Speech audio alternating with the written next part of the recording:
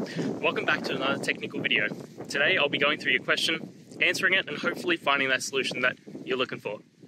Guys, remember stay just a little bit crazy like me, and hopefully you work through that resolution. Let's continue on.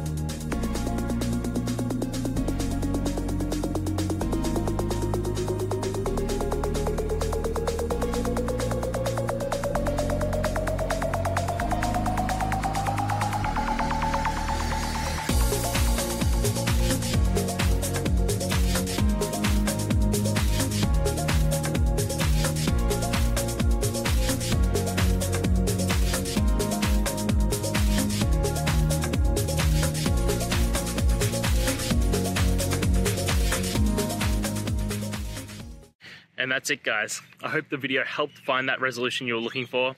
And, you know, if it did, please, I'd appreciate if you could hit subscribe. Until next time, guys, that you need more technical help, I hope you have the good one. Cheers.